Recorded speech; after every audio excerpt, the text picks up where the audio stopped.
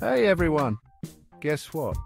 Maura Higgins and Pete Wicks were caught kissing at the Pride of Britain after party. That's right, folks, the Love Island star and the TOWIE heartthrob have finally confirmed their romance and it sent shockwaves through the reality TV world. Now let's rewind a bit. Earlier in the night, Maura was getting all cozy with Strictly Come Dancing's Kai Widdrington. They were spotted chatting and laughing, sparking rumours of a potential new fling. But hold your horses because the real bombshell dropped later that night. At the after party, Maura and Pete were seen locking lips and looking smitten with each other.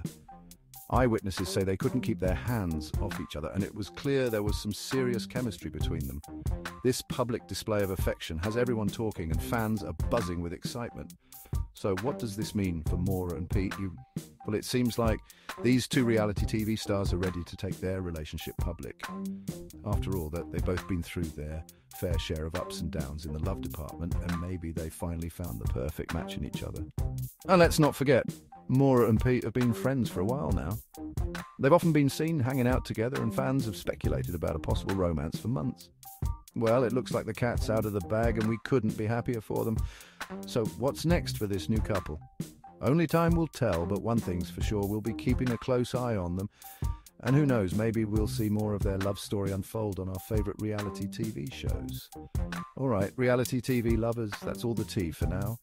Make sure to like, comment, and subscribe for more juicy updates. See you in the next video.